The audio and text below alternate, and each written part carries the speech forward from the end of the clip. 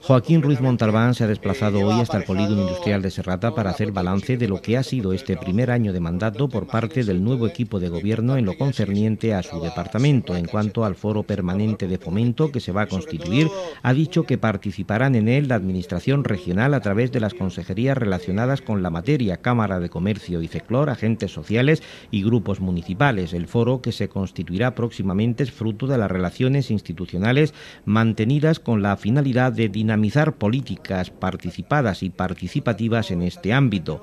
En cuanto a la supresión de pasos a nivel, ha recordado que está previsto iniciar próximamente el soterramiento de la avenida de Santa Clara y la supresión de la Torrecilla y Villa Espesa. Ruiz Montalbán se ha referido también a las excelencias de este municipio para realizar inversiones y ha dicho que Lorca es un buen sitio para invertir, entre otras cosas, por sus buenas comunicaciones. Se ha referido igualmente a los programas comunitarios que se han creado ya las redes de trabajo transnacional.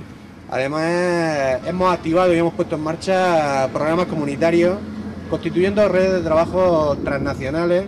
Eh, han sido algunas las visitas que se han hecho y sobre todo mucha la formación que se ha realizado en materia europea y de cooperación y programas comunitarios. Nuestra intención, desde luego, es desarrollar actuaciones que vengan a, tener una intervención en ámbitos de desarrollo de I de maíz como implemento y desde luego como futuro del desarrollo de los diferentes sectores de nuestro municipio.